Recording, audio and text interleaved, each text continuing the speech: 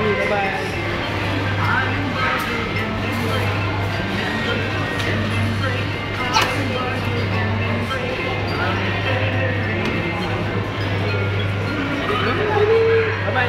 Kisina Kisina Hei Adik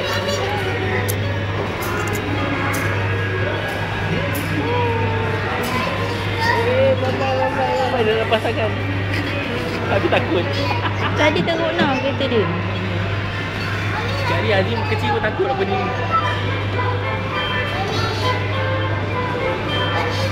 Hey, wait.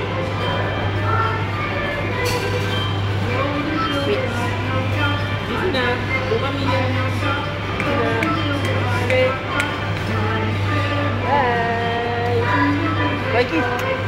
Thank you. I like betul.